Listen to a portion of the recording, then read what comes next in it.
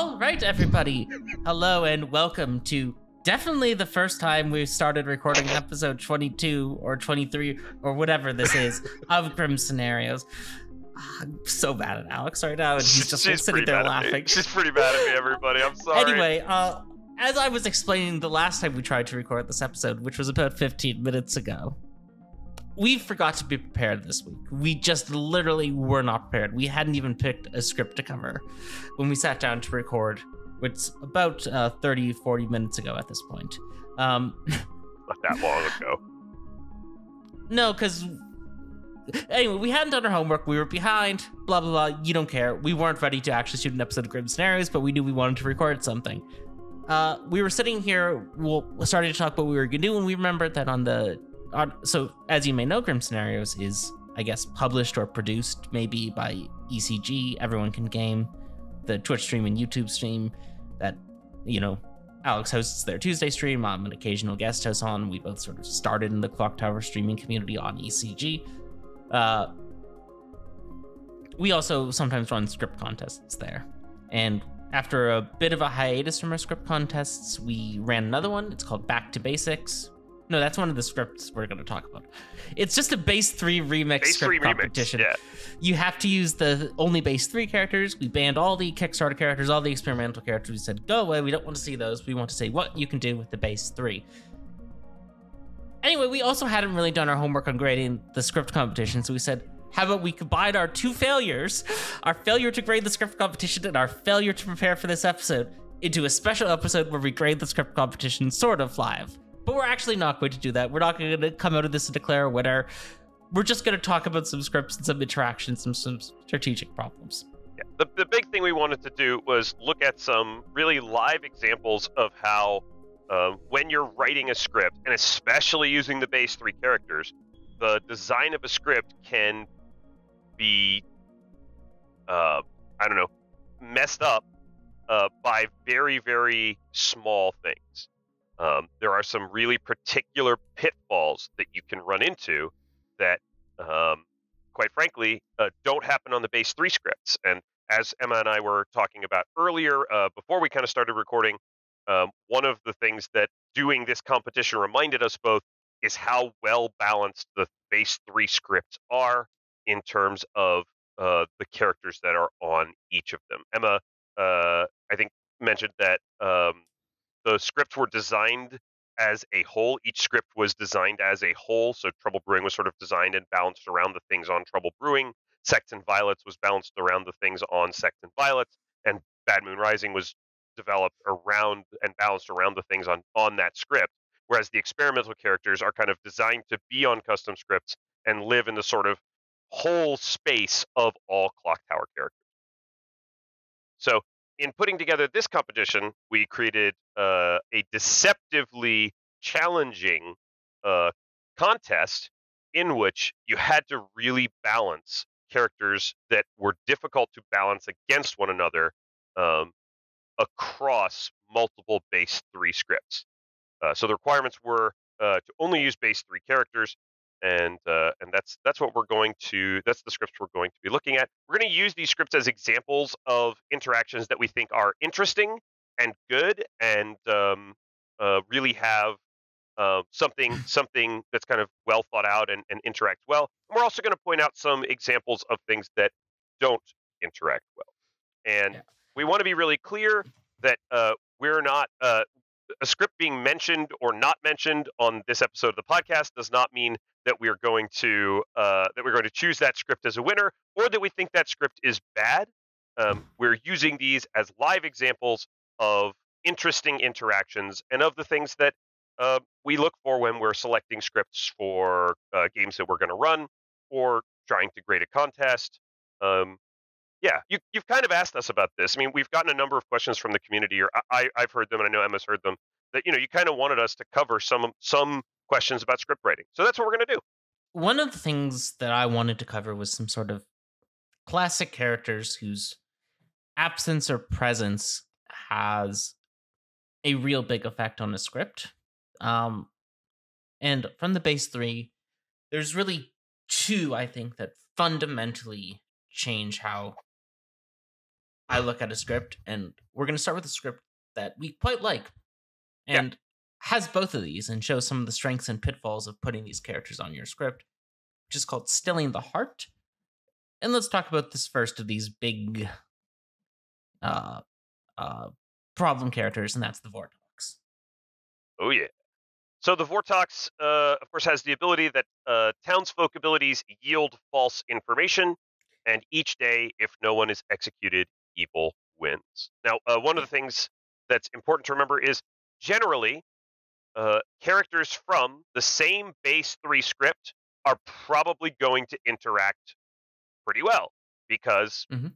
they are on the same base three script together. So Vortox classically works great with Seamstress. It works. It's interesting with Savant, right? It works well with Oracle. Um, those are all characters that are on the same base three script with it. So we're not going to really talk as we go forward through these scripts about on script interactions. We're going to talk about Yeah. the off script interactions. And as we talked about the Vortox a few times tonight, I want to be very clear. It is literally my favorite demon. I love the. Vortox. I love what it does for a script. It has a lot of problems, but it Mhm. also its absence sometimes has a lot of problems. Like Vortox is one of those characters that either needs to be on your script or it doesn't, and when it doesn't need to be there and it should, it's a glaring issue with the script. And when it needs to be there, when it, and when it needs to be there, it might mean that some characters you wanted on that script really need to go. Yeah. Um. So let's talk about a character I really like with Vortox, which is the librarian. Pop a librarian in there. Nice. Uh, librarian, like so, librarian, much like its cousin washerwoman, and uh, relies on a lot of the basic TB interactions, spy, drunk, to a lesser degree, poisoner, uh, to make it balanced. Like if the librarian just, you know, if if librarians are just consistently seeing the saint every game, and there's never any risk that that saint is a spy bluffing, or that the librarian's drunk and it's really the imp, or the librarian, like librarian just shoots up in power level, and evil doesn't really have a way to combat that because they can't um reliably bluff a librarian confirmation. I think this is generally why. I think this is generally why we don't see Washerwoman just show up on a lot of custom Yeah. scripts. people think people think that librarian doesn't have the same problem as washerwoman because it's just an outsider it's not as big a deal as if you confirm an outsider if you confirm a townsfolk that's mostly wrong like Yep. when you put librarian on a script you need to think of all right how does evil either cast out on the librarian confirmation or bluff a librarian when they don't have a grim peeker That's right. and vortox is one of those ways so i love the vortox librarian interaction uh, there's a bunch of things that lets happen. Uh, the vortox lets evil uh fake librarian confirmation. The storyteller gives evil uh, outsider bluff. They put the librarian right ping on one of the evils. The evil player catches wind of this and says oh yeah i'm the i'm the tinker. That's me. I'm confirmed. Not a Vortox game either. That's super powerful for evil. Uh it also you know makes the librarian confirmation harder and look more evil Mhm. Oh, you saw Tinker between seat 12 and seat 6. Never, never claiming Tinker Librarian. What's up with you? You're just making things up? Another thing that works really well with uh, Vortox and Librarian is having uh, outsiders that are hidden, right? So, for example, the mutant and the drunk. The librarian in a in a Vortox game might see a mutant or a, a drunk on an evil player, and there's really no way to confirm that, you know, easily. Yeah. So it, it can it can help the evil team bluff. And the librarian can even actually be the drunk and just correctly confirm the Tinker. And then through that, confirm that the savant's getting a true and false statement. Confirm right. that the seamstress ping between the demon and the gossip is actually a yes. That's right, because true. the librarian got true information, so it must not be a Vortox game. Yeah. But the librarian is the drunk seeing a true Mhm. ping, because the drunk is the only character that can see a townsfolk token and get true information Exactly. Vortox. Lots of to love about librarian vortox as an interaction. Another interaction on here that's fun with Vortox, Emma, uh, is the monk. Mhm. Throw a monk on the script here in seat 12. Oh, Oh, well, that's okay. We can have we can have a monk in seat four. That's fine. I got it. no, no, I'll we, let are, you- we were both you're both too eager to put That's down right. a monk. We love the monk. I'll let you talk about the monk. You were excited about the monk. No, no, no. You, you, you Oh, were the one who brought oh, up monk. that's It's your true. turn to talk about a Well, yeah, so, you like. Um, monk is a monk is a really interesting interaction with the Vortox because uh, when a monk hits an ongoing information role in a Vortox game, that player is safe from the demon, which means that they are safe from the Vortox's townsfolk abilities yield false information effect, which means that a monk can allow good players to get true information in a Vortox game. Now, Mhm. you might not know that that's happening, and it can be disruptive to the good team because you're getting information that isn't consistently coherent or understandable. However, once you solve back that it is a Vortox game, that monk those monk protections are going to re- yield some good information that the good team Oh yeah, no, it's it's really interesting and like, yeah, um, I love that the monk and the Vortox. Yeah. love it. Oh Why don't we talk about a Let's- problematic one? yeah, let let's talk about one of our other problem childs, one of our other classic problem childs on script building generally, the gossip, which is on this script. Oh, the gossip. One of my most favorite roles to be in All Up on the Clock Tower. It's so silly. It's so goofy. It's so funny. Like, love being the gossip. Every time I see the gossip token, I am thrilled. And and Unless I haven't actually started to play yet and I'm looking at the script and I see the gossip token, and then I'm like, most of the time I see the gossip token on the script, I'm like, "Ah, you probably didn't want the gossip. I know it's fun, but the evil team's gonna be crying. now I can see why this script writer put a gossip on here. right? I can see why the gossip was chosen for this script because uh, they're looking to provide the good team with some source of information that isn't vortoxable, right? Uh, on Sects and Violets, traditionally it's the Snake Charmer. Uh, here they've got a gossip. They've also got a gambler, which does very much can do very much the same thing.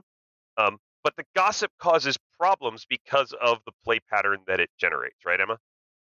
Yes. Uh, the effective issue of what's going to happen here is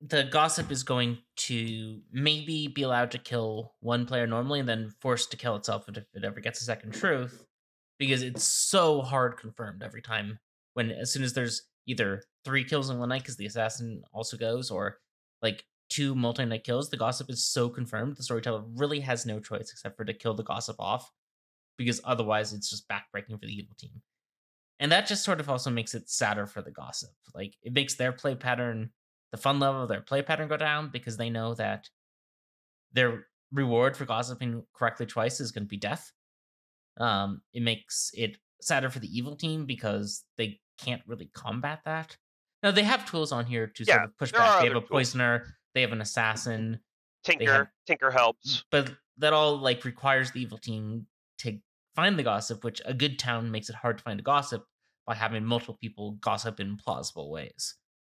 It, it's it's tricky for the evil team to know when the when the true gossip has happened or when a false gossip has come from the real gossip at least fairly early in the game and that can make those Yeah. early game gossips really really tricky to track down.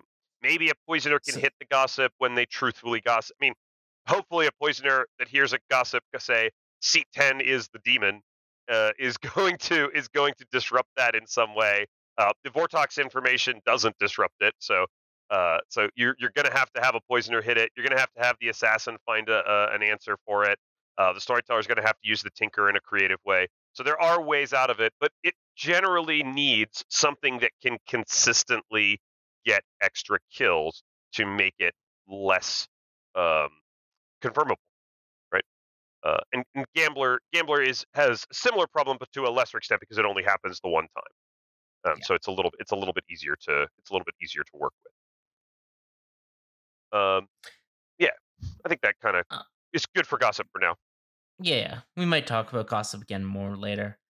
Uh, Oh, we let's talk about something that's a little tricky with a Vortox and controversial, and that'll then we'll probably move on from this group, which is a poisoner. Uh, the vortox genuinely decreases the power of the poisoner be by like sort of making it redundant with several townsfolk. The empath oracle, savant, seamstress, chef, librarian. None of these are changed whether the poisoner hits them or not. It's not necessarily the end of the world. Like uh, the poisoner writer has a bunch of Things to do before the poisoner Yeah. to do. They're just looking for something different in a vortox Yeah. game than they usually would.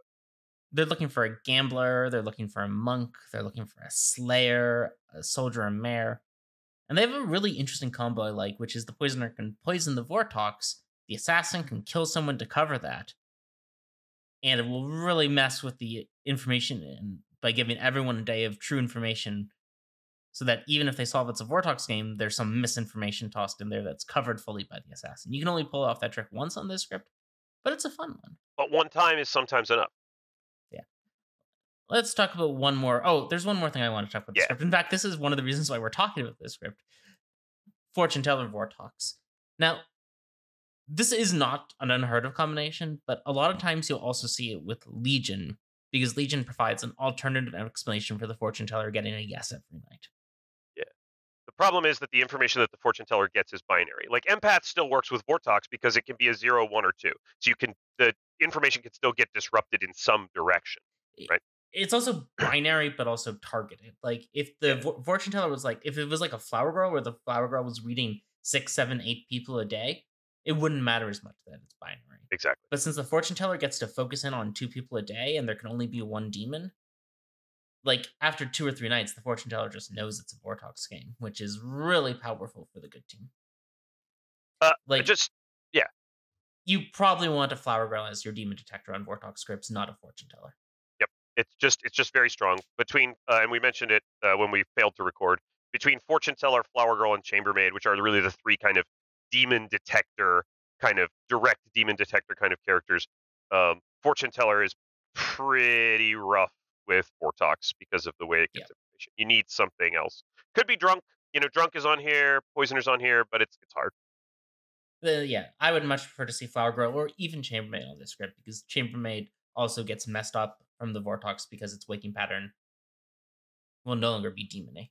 Uh, with that said, like this script, probably would play this script. Yeah. Let's move on to our next thing to talk about. let's switch to a script that needs a vortox but doesn't have one So, what, what do I? Well, this script needs a Vortox. Oh, this script needs a Vortox.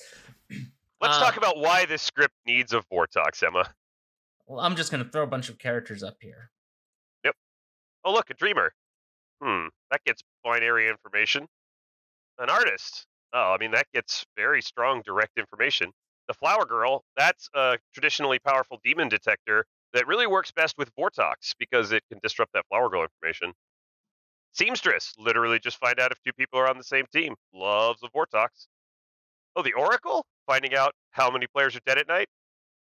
Seems important when you have a Zombuul and a Fang Gu.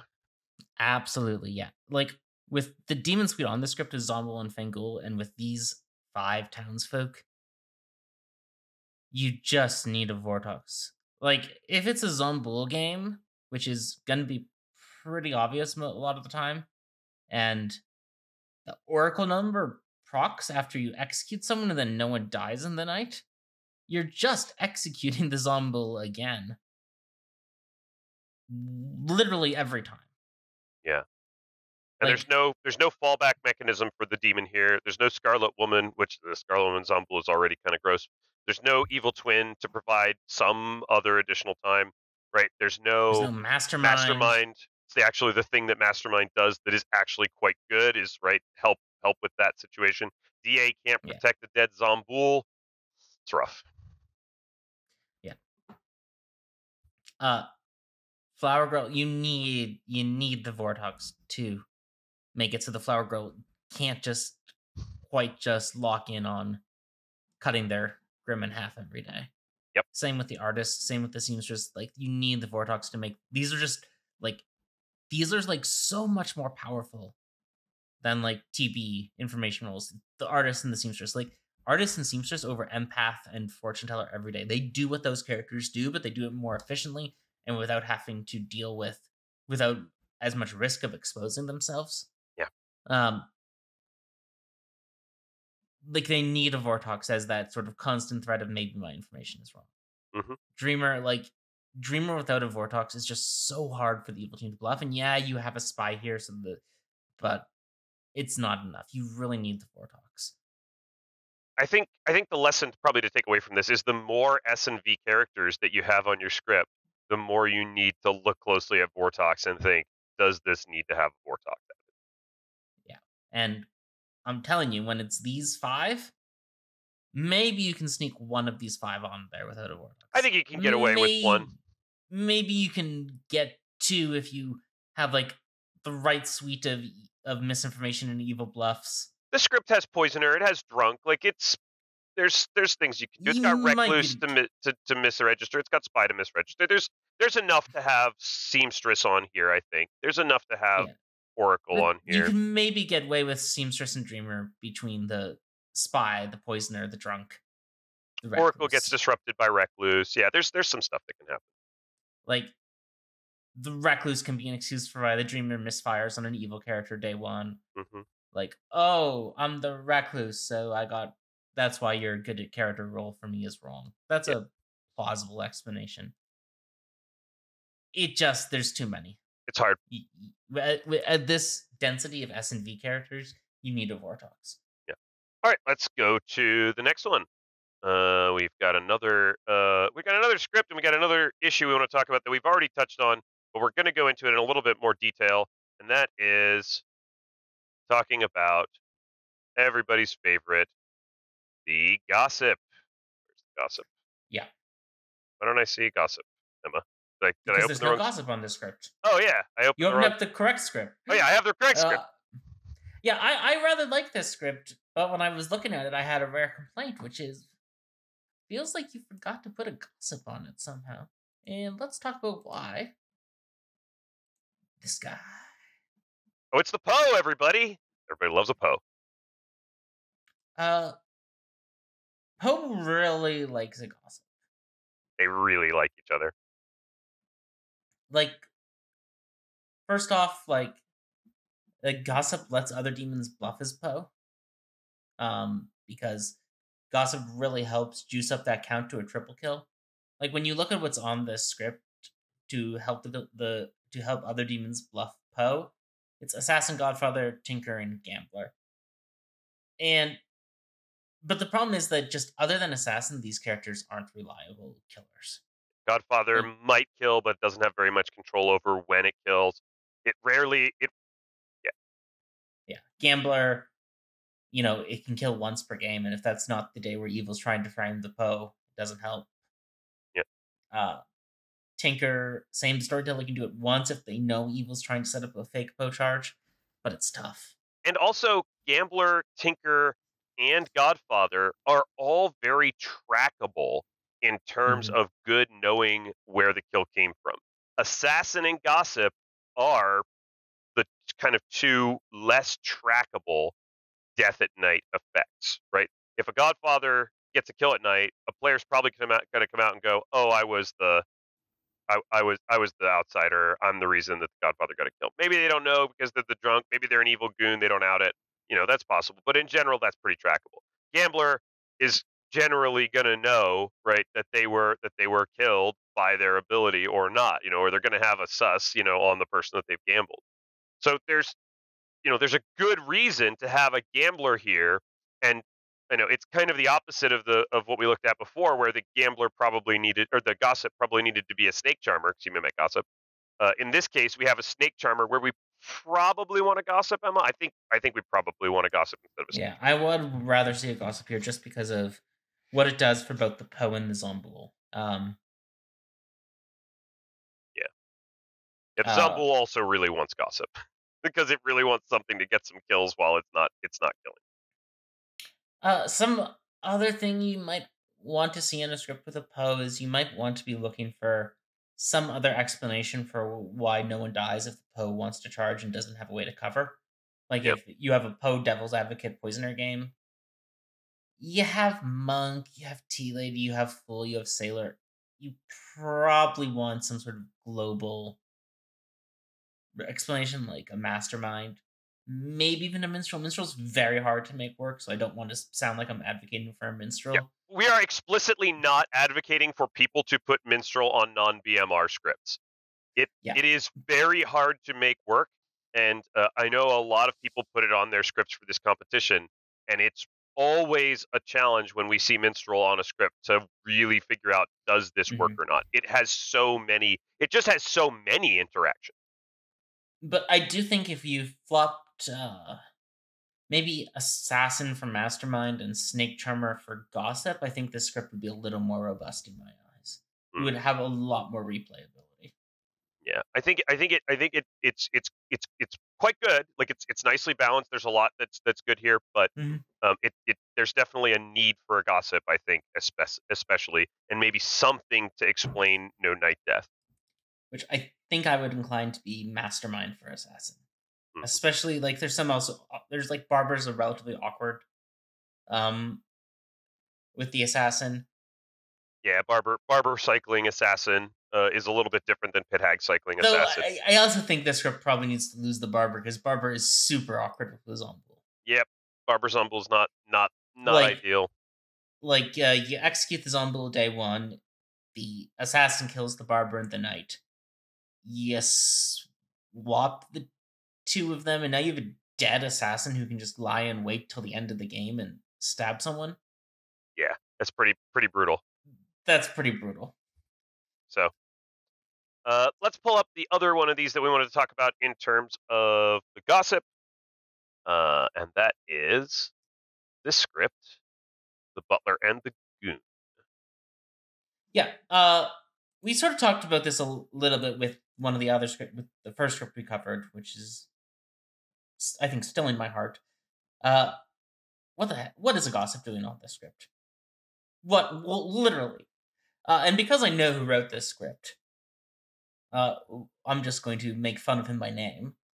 Uh walter why is a gossip on this script? What are you doing here?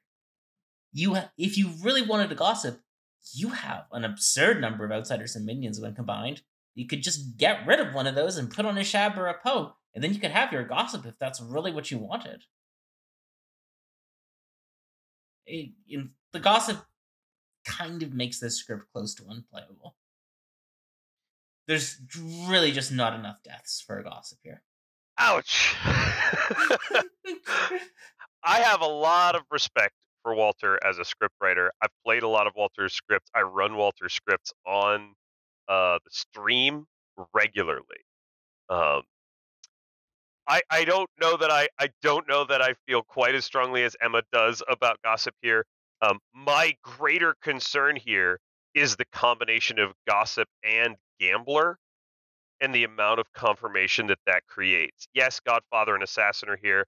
Gossip is already super strong, and now you've got a gambler. One of those two, like uh, as a storyteller, I'm really concerned about putting both of those in the bag together because surely one of those two is going to get some really strong confirmatory information. Yes, there's no Dashii. Yes, there's Poisoner. I don't really like no Dashii with Gossip and Gambler because a Gossip that never gets a kill sitting next to a no Dashii looks like a really obvious gossip sitting next to an Odashi. A gambler sitting next to an Odashi that never dies and gossips themselves with the innkeeper. That it's it's a it's a complicated set set of i- Y- in, interactions, but gossip you knows what's going on. you really need multi-kill demons for gossip to work you really really need multi-kill demons for gossip to work i really cannot emphasize that enough like You need for- some way. You need some way to in. You need some way to have that gossip be disrupted. You yeah, you either need it to be able to be pushed aside as a Shabaloth or a Po, getting their extra kills off, or you need like poor No Dashii over here in seat eight is just going to be pummeled by a gossip over there in seat two. Uh, I would like to gossip that the demon is in seats uh, five, is between seats uh, one and six, clockwise inclusive. Uh, also, uh, a lesser problem than the gossip because almost everything is a lesser problem than the gossip on custom scripts. Uh, this is our trio of. This is really our trio of misinformation. Recluse, th- for the math. It's really just these two. Recluse can do a little bit of work uh, for the math. Goon. Goon can do a little bit of work, but it's it's not enough. Like, if the math number is higher than like, if the math like the math number of e- when like you're just sort of with this little other reasons for math numbers to proc. It's tough. It's tough. It's tough for a No Dashii. Uh, you need probably some other min- evils that cause misinformation. I think I think I think just an additional demon and an, uh, specifically an additional demon that gets multi that's multi kill Shab or Po helps a lot. Yeah, like even like a Shab who had more chances to like proc math by hitting an Innkeeper Protect or a Mayor, I think would help a bit here. Um, or the Goon, that's another way to proc it. Mhm. Like you need non-traceable poison misinformation for a mathematician. Like a Philo could also help here. Philo and math often work well together. Yeah. You just need something else besides like it, it's almost forces you to put poisoner in the bag And with five regardless and with five Yeah. minions, like with five available minions, it reduces the chances of poisoner actually being in the mm. bag, but increases the chances of No Dashii being in play. Yeah like and you really almost like you really need to like always put poisoner in the bag and then the question is what's my second minion what's my third minion if i'm playing a two or three minion game like the mathematician is sort of forcing poisoner to be in there All right. or Uh, drunk i guess there's there there's some there's some possibilities. Um. Anyway, uh, let's take a look at uh one which uh I think we we both agreed is a really creative script, and that is the script. yeah and why is this creative and interesting as i'm sure our editor i'm furiously i've pulled up the fable tab and i'm furiously moving my mouse around the Toymaker fabled as i speak i'm sure our editor will have some other like flashing scientific because that is I've I've moved it into a space where hopefully the editor can do something interesting with it. so Toymaker. uh toy maker is a fable is a fable that we don't see a lot on uh grim scenarios or ecg because it's for teensies and we rarely ever talk about teensies uh it's a the demon may choose not to attack and must do this once per game. Evil players get normal start info. It's designed for as a way to uh in teensies in scripts designed for less than games for less than seven players uh, the evil team doesn't actually doesn't learn each other by default, and the toy maker isn't, and that's for balance purposes. Like it just makes it too easy for them if they know each other. So Yep. instead of knowing each other, so they lose that as the balance mechanism instead of getting rid of the minion. Um, but the toy maker undoes that and instead balances it by forcing the demon to take a breather one night. Uh, and the author of this script uh, said, you know, I know the toy maker is only for teensies. I know it has no purpose on a full size script. Let's do it anyway. and I just had to comment on something that that was creative. That was that interesting and that creative. Uh, we've loaded up this script with reasons for fake toy maker nights to happen too, which is super interesting. yeah, we've got exorcist, we've got innkeeper, soldier, uh, minstrel. Minstrel, Yep. Uh, we've got a goon, right? Uh, yeah. mastermind. If the demon sort of like suspects that it might be a minstrel night, they can fulfill the toy maker condition on a minstrel night. hmm That's pretty useful. It's really interesting. Uh, I really I like this script a lot. It has a lot of fun things. Uh, I think it's I think it's really fun. I think there's a lot of interesting things that can happen on it. I do think to some extent that there are a couple of interactions I'm not excited about on it uh, that I think yeah, are yeah. I'm pulling up some characters that I problematic that don't necessarily work uh, very well. Uh, librarian doesn't really have a whole lot of disruption. Washerwoman doesn't have a whole lot of disruption.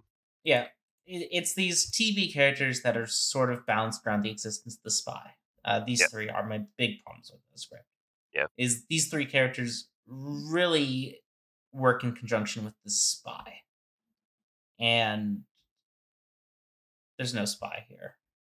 I, I don't really think there's room for a spy here. I guess you could add it as a fifth minion, but then you're I I'm not always a huge fan of that. But I, I wonder if there's something we could have done other than these three, and maybe it's a limitation of base three. The the base three. I think maybe if we allowed experimentals, I can see the Undertaker turning into a cannibal, the Yeah. Washerwoman turning into a pixie, and then my concerns here, uh, yeah, then my concerns here are a little reduced.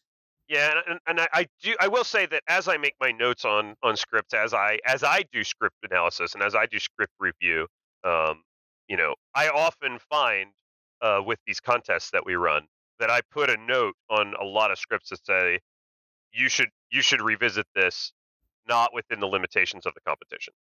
Like Yeah. the limitations of the competition have made this script not as good as it could be. I think this Yeah. script could be really good and something that I would want to run, but it needs to I mean- have access to other characters. To be clear, I already really want to run the script. I think it's hilarious. I like I yeah. love the concept in of the script. I think getting away from the restrictions, particularly with these three characters, would help because I think these three characters are just going to be real rough for good evil. I think there's not a lot they can do. If you're the evil team and you're just in there going, "Oh yeah, no, that player's just good. They're the Undertaker and the monk's protecting them every night, and I don't know who the monk is." It's Yeah. pretty rough. I, I have Like- I have a, I have a problem with the the inability of the evil team to. I actually think this script needs assassin. Um, the evil team needs a way to kill through ongoing protections because once somebody gets pretty well confirmed, they really need a way to deal with monk innkeeper. Um, they need a they need something to do on an exorcist night, like something could, could happen on an exorcist. Like they just need something else. I'm also not a huge fan of minstrel with evil twin um, because it creates it creates a predictable minstrel night. Maybe that works okay here because of the toy maker and the demon being able to not do it. But I don't love you know. Good knows that they killed a minion when they kill an evil twin, which means that the disruptive everybody's drunk night it doesn't do a whole lot. Uh, Yeah. yeah, it's prob- it's problematic there. It really just is bad. Um, Though I do my- like Twin on the script. I like Twin on the script, but I think minstrel. I think minstrel's the problem. Yeah, maybe Yeah. we don't quite need minstrel to. Uh, I think there's enough other stuff. yeah, I think there's enough other stuff for the toy maker that we maybe don't need minstrel and we can keep Twin. A lot of these I think are really also interesting twin options. I think hmm uh, Town Crier is an interesting twin option. It's rough in one minion games because the Town Crier's information is just always, oh yeah, he's a minion, she's a minion. Uh, but I think other than it's rough in, for Undertaker for the same reason it's traditionally rough for Dreamer. Yeah. Um, but I think other than that, I think these are some really interesting twin choices. I think the twin is good on the script. I think the I think the minstrel I think the minstrel is the problem, Yeah. Yeah. so I would say and I worry that evil king I- gets stuck in in in innkeeper and monk loops. But I do think this isn't a good. I do think this has a really good. I really like this script, and I would probably try running it as is because I'm so excited about the misuse of the toy maker. Um, How dare you misuse the toy maker in this way? but uh, I I do think these four characters are the ones I'm I would hope in a version two to see replaced by Yeah. something a little more either bluffable by evil or that worked a little bit better with evil. Now, like with the minstrel and evil twin, like the the it's not necessarily the end of the world. It's only the end of the world if you actually get the twin pair right. Well, if you get the twin pair wrong, you lose. So. right, you get the twin pair wrong, and you lose. So there's still that same sort of reluctance to test the twin pair, with unlike uh, some optimization problems, will still help the evil team. Is that even though people will know how powerful the twin getting the twin right on a, into a minstrel night is, they'll still be scared to do it because if they get it wrong, they lose. And there is a funny interaction where uh, if a uh, minion gets killed and you have a minstrel night, uh, and an, and then the evil the, the the evil twin is killed the next night, you have another minstrel Yeah. night, and you just have like very strange things going on, and the evil twin is drunk for a whole day, so you can kill the good and- twin. It's it's uh, there's some Yeah. weird stuff, but I just There, there's some fun counterplay, like the poison. You can flip the goon. The goon can act very miniony. The goon can get executed. The shab can trigger the toy maker Yeah. to bluff a minstrel night, and then people can safely execute a twin the next day, and blunderbuss into executing the good twin. Like there's stuff you can do here. Yeah. It's definitely it's like like even the minstrel as rough as it is with evil twin. I think the script makes it not maybe as much into the world as other things are. I, I think it's probably still yeah it's probably still the wrong choice because minstrel's almost always the wrong choice. Minstrel's almost the, wrong- always the wrong choice, and as as we'll see here shortly, Courtier is also almost always the wrong choice. So. But i love i love this script's name. I love that it just decided to say hey let's misuse the toy maker. Oh yeah, i love what it did with that. I think it's really fun. I think uh yeah i i think these four characters maybe uh, I'm going to bring up back to basics, base three only version. Uh, we both also thought this script was really interesting and creative, uh, and does does does something kind of uh, kind of interesting and different with with a very TB like kind of script. Mhm. yeah but as i set out let's put this no let's put this let's just circle on this particular interaction and the problem it can cause Yeah. So d- d- does everybody see why this is a problem? Can, can any can anybody think about why a tea lady next to a virgin is a problem already, and uh, then uh, Philo next to that tea lady and virgin is maybe also a problem? Maybe that Philo goes virgin, Emma. yeah so this virgin gets the gets executed and doesn't die confirming all of them and then this virgin gets executed and confirms there's not even spy shenanigans going on How about let's just uh let's just go ahead. I'm just gonna I'm just gonna grab this I'm just gonna grab this tea lady real quick, Emma, and I'm just gonna move it. I'm gonna move this tea lady over here. I'm just gonna put this tea lady over here, and I'm just gonna go ahead and put a let's put a oh let's put a uh uh one of these here, and let's put a let's put a we can just put anything there, right? And now Yeah. this this chef can nominate the virgin and doesn't die when they nominate the virgin. This and this fool fool can nominate the virgin. virgin and doesn't and not even use their first life by nominating the virgin.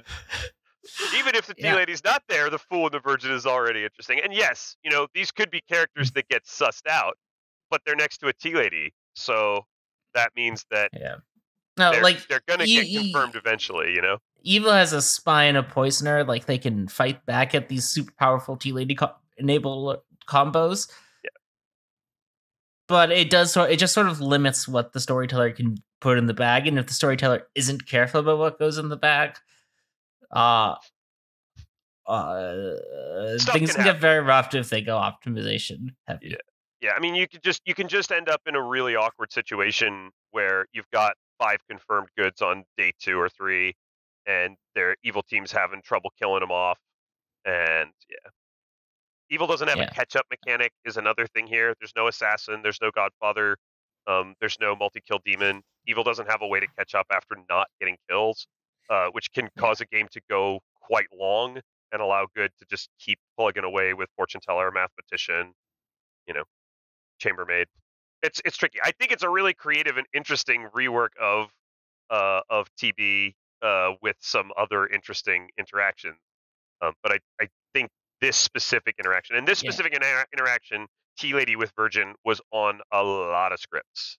yeah It was on Uh, quite. we want to talk about it and we will like I'm yeah this is again a script i really like and i really respect the author of Yep. uh Yep, we love you, Lachlan. We think your scripts are great. uh i do think maybe this the tea lady's ability to do some combos here are a little uh over the top. Yeah it's it's a little it's a little it's a little tough and i think this really wants a very experienced storyteller to really think about what goes into the bag. I do think there are multiple bags possible with this. I think you can make different interesting bags but you really need to spend some time thinking about what you put into the bag on uh, with this version of the script i expect Yeah. that there is a non-base 3 only version of this script and i would love to see that Well, yeah, since it says base three only version in the Yeah, script title, so- I'm suspecting there's a second version. So so please please feel free to send us the second version. Again, you know, sometimes sometimes the limitations of a contest make a script hard to you know hard to hard to hard to make it work. All right, I got another one here for us. all right, one with a title that I really love. Flames on the side of my face. Lovely clue reference there. Uh, Emma, we, we each had something we wanted to talk about on this script, and uh, you wanted to talk about outsider modification. And specifically, I think we wanted to we wanted to look at the script and say, hmm, there there isn't there isn't an outsider modification character on here, but there is a drunk. Yeah, so let's let's talk a little bit about the drunk as outsider modification. First of all, the drunk is outsider modification. Like it just is. Yep. Like that's that's what it does. Like it adds an extra townsfolk to the bag and opens up the space scene for evil to bluff outsider. That's right. The drunk is in fact outsider modification. This is one of the reasons why I get very annoyed when people toss Sentinel on a drunk script. Like if you really didn't if you really think you need more outsider modification than just the drunk, you got to do something else than add the sentinel because it's just doing what the drunk does already. Um, they're doing the same thing, but the drunk's a character is yeah. Uh, This is outsider modification. It's probably not enough. It's outsider mod. It's one directional outsider modification, which is the problem. Uh, if you notice, uh, TB and S and V have each have multi-directional outsider modification. TB has the Baron and the Drunk, Yep. which Up and down. up goes up with the Baron and down with the Drunk, which leaves you at a range of plus or minus one, basically.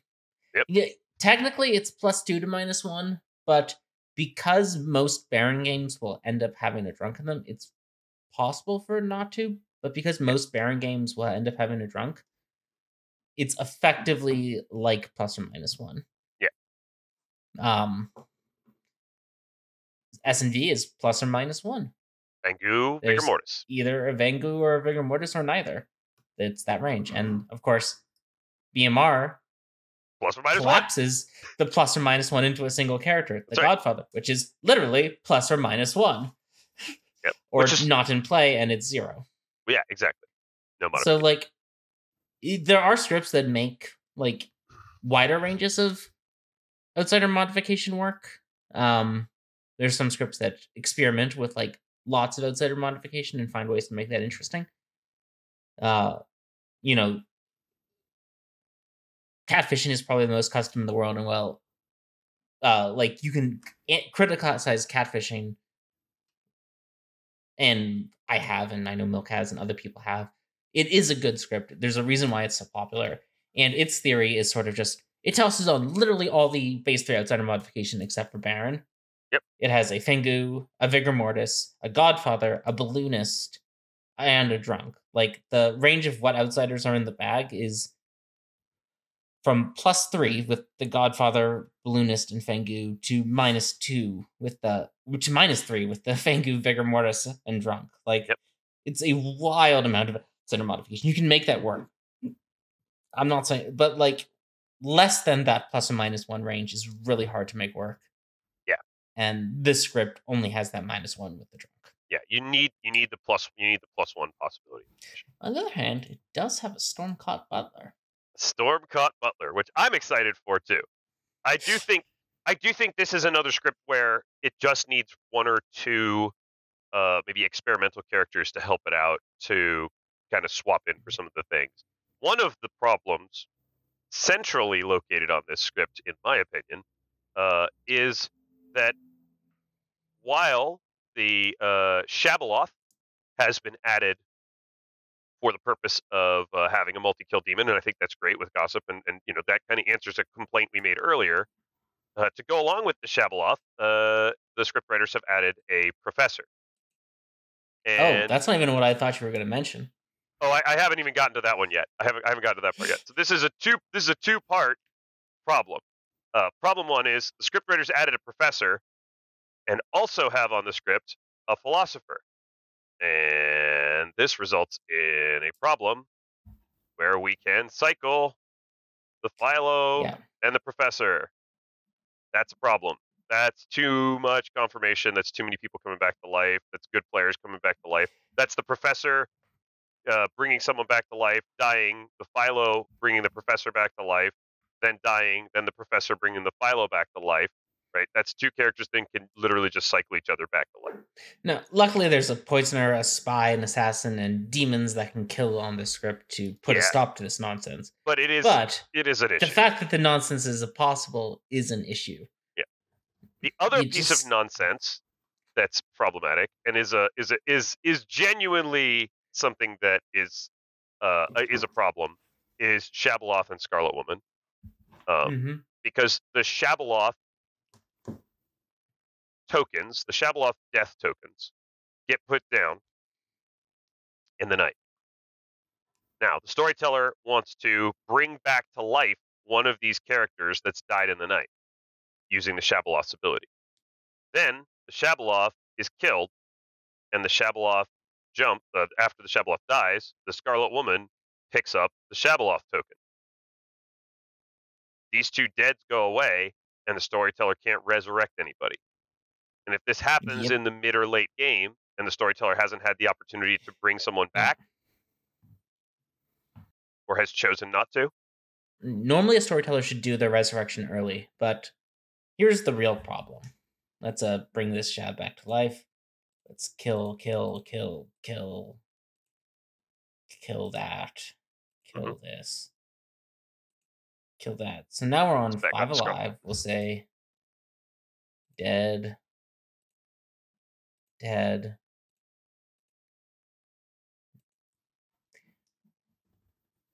So Mr. Original Shabface dies. We have a new Shabaloth over here. These tokens go off the board. and now And good just lost because they executed the demon. Yep. Because now this Shabaloth is going to get two kills in the night, and there's no one that can be brought back to life. But also, what was their other option? If they execute the Scarlet Woman, they also lose. They also lose because But at least in that case, like the like one of ten or nine could have been brought back to life. Right. To solve to say, hey, I'm not gonna let you cheese this victory that easily. But when you execute the Shab, no one can be brought to life. The only alive Shabaloth didn't choose any players last night. and the Shabaloth can use that uh, effect in the mid to late game as well to kill someone, kill themselves, pass over to the Scarlet Woman, and have the same same effect if the story. Well, yeah, but then at least you have a chance to execute the Scarlet. Yeah, then you at least Like- have a chance to execute the Scarlet Woman. But again, there's a lot of Um, interactions with the Shabaloth that make it not great with the Scarlet Woman. yeah, here on Five Alive again. If you execute the demon, you lose. If you execute a good player, you probably lose. The storyteller can save you with a resurrection. That's really rough. And it feels really rough ex- for it feels really rough for evil if the storyteller has to bring back somebody on Final Five on because Final the Scarlet Five confirmed uh-huh. because the Scarlet Woman caught. Yeah, it's just Yeah. it's like a pit hag change without any signaling, and that's almost always really awkward.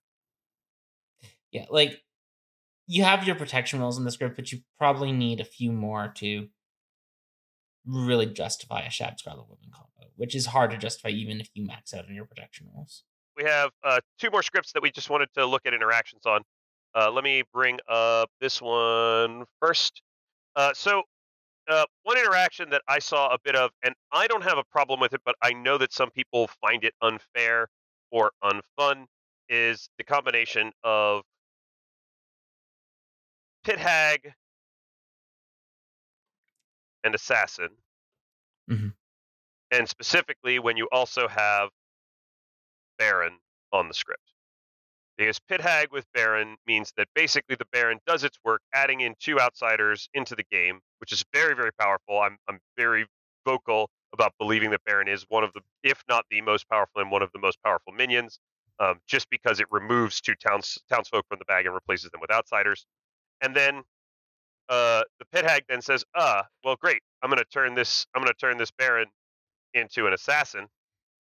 Uh, on this script in particular, the Vigormortis can then kill the pit hag, letting it keep its ability, and kill the assassin. and kill letting the the assassin, assassin letting lie in wait. ability.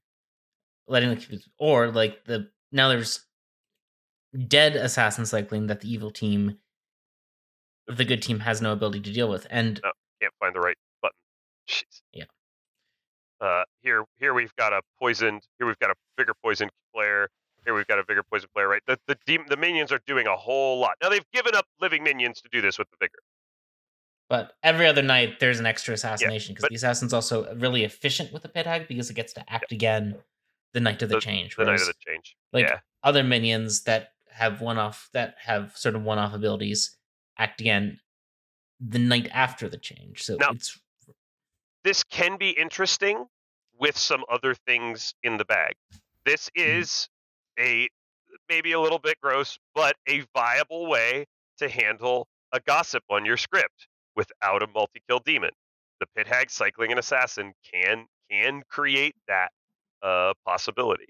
Uh, a lot of people dislike this uh, primarily because the other thing that could happen is a pit hag that's alive late in the game that's never killed any that's never that's never been revealed or that's hidden very well can also turn themselves into the assassin right and then get an extra kill at the end of the game but there's a lot of really awkward things that can happen with this interaction yeah, uh just a few other small notes on this script as we're talking through it. Uh, Flower Girl, as we've discussed without a Vortox, is incredibly powerful. Yeah. You're probably wanting to avoid that. Uh, Snake Charmer and Pukka is a rough interaction because it's really confirmatory that the Snake Charmer happened when the Pukka said it does because there's suddenly no there's a night of no deaths that follows. Yep. Or there's yeah, there's a night of an immediate night of no deaths. So like the the the pushback of they could just be bluffing doesn't work as well because the no death after the snake charm is really confirmatory. Yeah, the pit hag can also simulate that, but it's just it's really con- it's not a great character combo, even though they both look like snakes.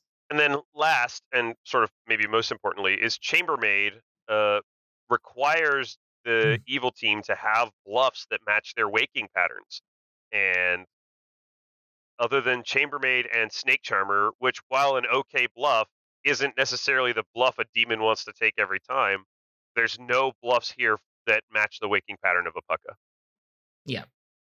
Uh, and obviously, the Pukka can't bluff chambermaid to the chambermaid.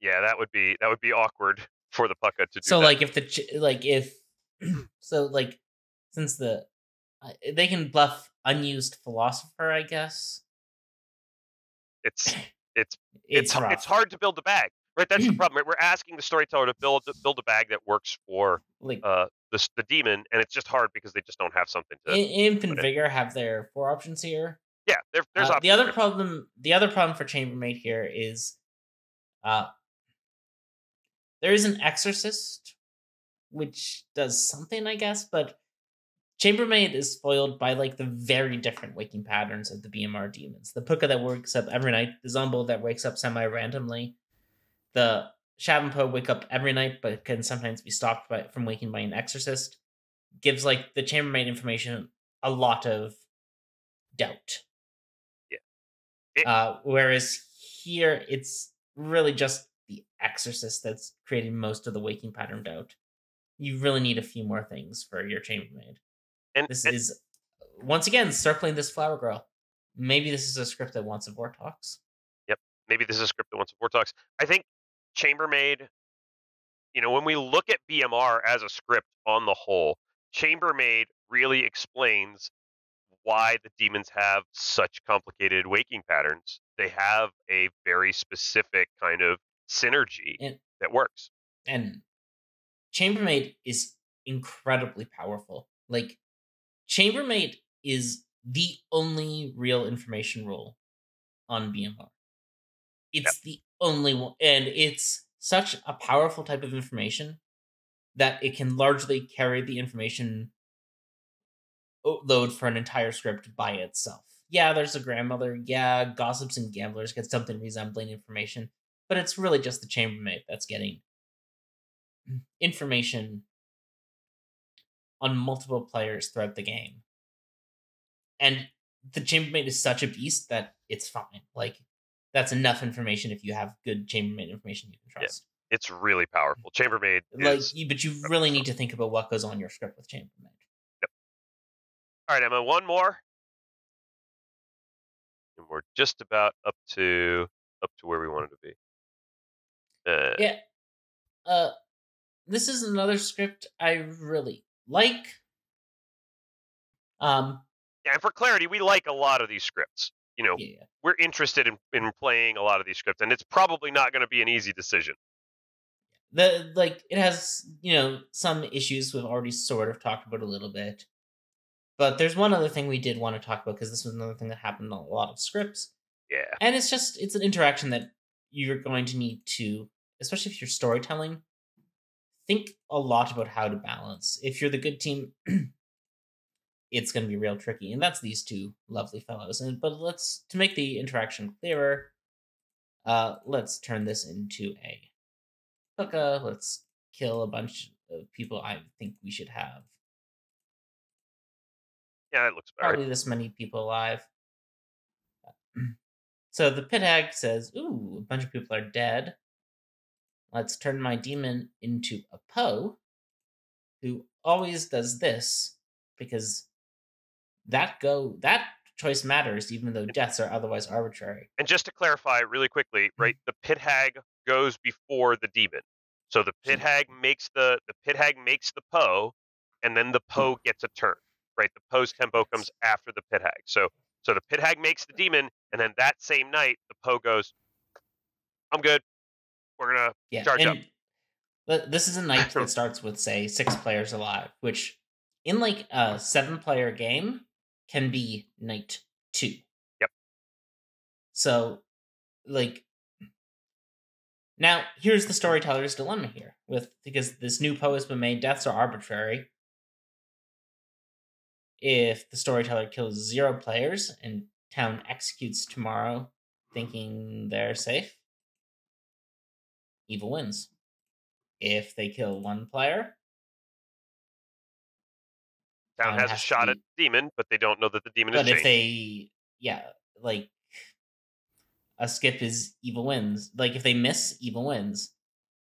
What the storyteller really has to do there is probably this. Kill the pit hag. Yeah, Yeah, and two good players to let the good team know, this is hey, final this day. is final day. Like that's the only re- that's like that's the de- signal that needs to happen when the pit hag makes a Po with six with six players live. and that's really Um, jarring on six players alive, and it can feel a lot kind of unfun. It can feel like a Yeah, like sudden as we said on a seven unfair. player game, this is this of course happened on happened is- on night two. night two. Yeah, So you you wake you start the game, you execute someone on day one. On night two, the storyteller arbitrarily kills off half of the remaining players, and then it's final three on day two. So it's it it, it it's it's an interaction that is very powerful, and probably if you're building your bag, you really need to just not put pit hag in. 'cause Pit hag can do this at any moment in the game. and it, it it's always a threat of a pit. Like it's just a demon and a minion that work particularly poorly together because of the pit hag's ability to accelerate the game using the Po in this manner, effectively getting that triple kill without having to use the charge because the storyteller has to kill three players off that pit hag demon change. And the evil team doesn't have to sacrifice a charge to get there. yeah, I think that's I think that's pretty much covered it. I mean, it's it's it's really it's really powerful and probably It's really powerful. Yeah. You know, maybe Innkeeper and Mayor do something, but again, it they have to be alive. Just They- Innkeeper, like yeah, Mayor, just Mayor doesn't do anything. Mayor just bounces to somebody else, so you still end up in the same situation. Yeah. Yeah.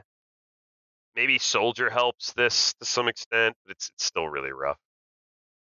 Soldier's not on the Goon, I guess helps, but that's not Yeah. really the right use of an outsider. It's just it's, it's, just really rough. Like Yeah. i i- it's a very rough combo. Is Pit Hag Po? Uh, so- not say again. I dislike the script. I just one of those two probably needs to leave because of the ability of the Po Pitag to get a free triple kill off. If the demon, well, the demon's always alive, but if the Pit Hag's alive on a night that starts with six or fewer players, it's effectively like a triple kill because the Pit Hag forces the storyteller to set it down to final three. Yeah, I think um, I I think it's worth mentioning since we've talked about a lot of scripts. Uh, I think it is worth mentioning that almost every script probably has one character uh, that I, that I've seen at least in this competition probably has one character that should be swapped out. Probably has one interaction that doesn't work. It's a hard competition. Almost every script, I just want to very clearly make this point. This is such a script. Uh. These two characters. Hmm, this one looks really familiar, Emma. I think I've yeah, seen this this, is Sects before. and Violets. These two characters play very poorly together. Um, like if the No Dashii poisons the Philo at the start of the game, and then it, it sort of like forces the demon not to move or become not a No Dashii because it makes it very obvious what happened when the Philo stops waking up, with, even though they thought they were the town crier. hmm Um, this character and this character famously problematic. Yeah, those don't really work that great together.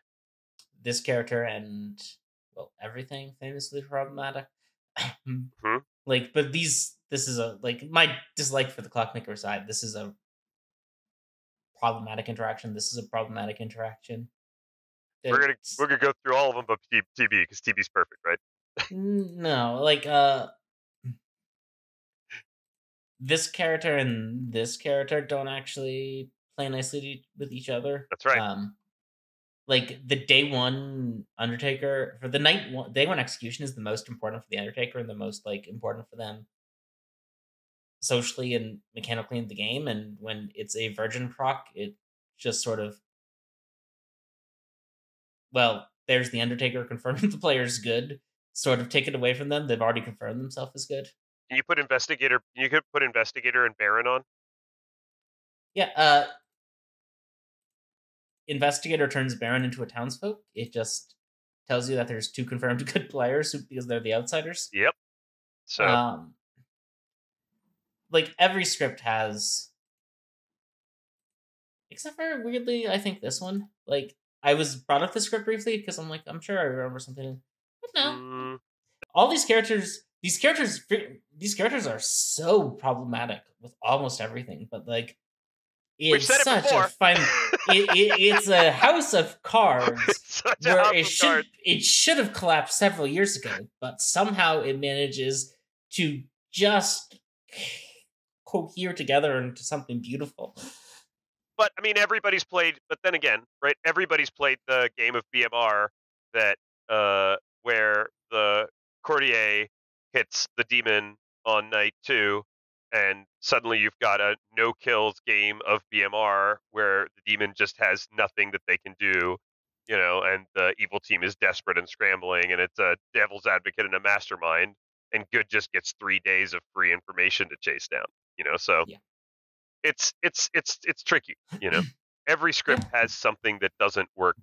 Every script has something that doesn't work perfectly you know so just because we've mentioned an interaction and it's on your script just because we've mentioned your script and said ooh this is a problematic interaction doesn't mean we don't like it and doesn't mean we don't appreciate you all submitting scripts and uh Except specifically to Walter, I will never play that script unless you take the gossip off.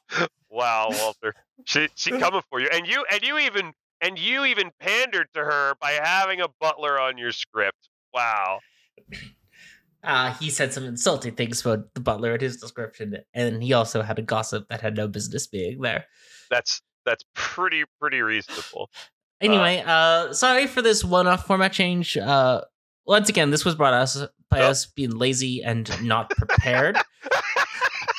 As we have more technical difficulties, uh, if you don't like this alternative format, don't worry; it's probably never coming back. Uh, we're gonna Uh, try if some you- different stuff in the future because we if are gonna run out of do like this alternative format, let us know, and maybe it will come back. Yeah. Uh, next week we'll be back to our normal format. We actually have a sort of cool two week special series we're planning, where we talk about what to do when not only are you playing as a certain character, but that character was just released by the Pandemonium Institute in the past week or so, and you don't know how it works. So we're gonna do some episodes focusing on brand new characters. So stick around for mm, hopefully the two weeks after this one comes out because we're planning to produce two of these next week, and so then we have a bank to go through the holidays. But you know, we've mess, missed some weeks lately, so we may fail again. We're, we're Anyway, gonna try. like- we're gonna try not to keep failing. We're gonna try to get ahead uh, uh, uh, by a little bit, and we're hoping to be back the not missing weeks in the new year. Yeah. Obviously, the holidays, you know, will affect us. may affect things. But yeah, uh, also again, if you're really upset about this not being the normal format, it's just because we're lazy people. The normal format will be back. Yep, we'll be back to our usual shenanigans of trying to trick each other with Grims next week uh, with something should be fun and a little bit new. So until then, as always, may your scenarios be grim.